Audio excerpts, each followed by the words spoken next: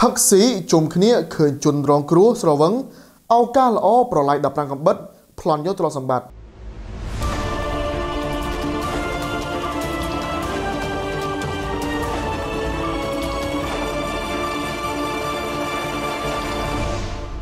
ជនសង្ស័យដៃឆៅដែលចាក់សម្លាប់ជនរងគ្រោះ15កំបិតដើម្បីប្លន់យកទ្រព្យសម្បត្តិត្រូវបានកម្លាំងនគរបាលព្រំប្រទានក្រសួងមហាផ្ទៃដឹកនាំសហការជាមួយកម្លាំងនគរបាលខេត្តកំពង់ឆ្នាំងឃាត់ខ្លួនបានមកវិញហើយក្រោយរគេចខ្លួនបានមួយថ្ងៃប៉ុណ្ណោះការឃាត់ខ្លួននេះធ្វើឡើងកាលពីថ្ងៃទី22ខែមីនាឆ្នាំ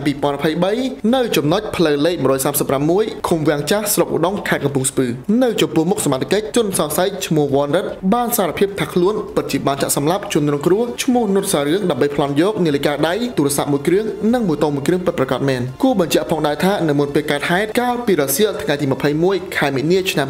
2023ជនរងគ្រោះបានហូបចុកពិសាគ្រឿងស្រវឹងនៅផ្ទះរបស់ខ្លួនជាមួយគូគាត់ម្នាក់ទៀតស្រាប់តែឃើញជនសង្ស័យដើរម្នាក់ឯងក៏បានហៅជនសង្ស័យមកចូលអង្គុយផឹកជាមួយលុះពេលផឹកបាត់បន្តិចស្រាប់តែជនរងគ្រោះស្រវឹងសម្រានលក់បាត់ក៏គូគាត់ជនរងគ្រោះម្នាក់ទៀតដែលផឹកជាមួយនោះបានត្រឡប់ទៅផ្ទះវិញបន្សល់ទុកជនសង្ស័យនិងជនរងគ្រោះនៅតែពីរនាក់ឃើញឱកាសល្អបែបនេះជនសង្ស័យក៏បានដកកំបិតថ្នោតចាក់សម្លាប់ទៅលើជនរងគ្រោះចំនួន15កំបិតរួចយកនាឡិកាដៃទូរស័ព្ទនិងម៉ូតូរបស់ជនរងគ្រោះរត់គេចខ្លួនតែម្ដងដោយមកស្នាក់នៅផ្ទះសង្សាររបស់ខ្លួននៅឯខេត្តកំពង់ស្ពឺក្រោយពេលទទួលបានដំណឹងនេះកម្លាំងនគរបាលជំនាញខេត្តកំពង់ឆ្នាំងនិងកម្លាំងនគរបាលនយោបាយឋានព្រមត្តនក្រសួងហាផ្ទៃបានធ្វើការស្រាវជ្រាវរហូតខត់ខ្លួនជនសង្ស័យបានរួចប្រកោជួនស្នងការដ្ឋាននគរបាលខេត្តកំពង់ឆ្នាំងដើម្បីចាត់ការតាមនីតិច្បាប់ខ្ញុំបាទ Heidi ពីកម្មវិធី One Inside ក្រុមហ៊ុន Markasland គម្រោងដីឡូនិងលំនៅឋានដែលមានទីតាំងនៅក្បែរតំបន់ដែលមានសក្តានុពលបំផុតនៅក្នុងខេត្តត្បូងឃ្មុំទិញដីចំការខ្នោការ៉ុតពីគម្រោង Riyadh Farm ទទួលបានការមើលថែទាំតាមស្តង់ដារកសិកម្មទំនើប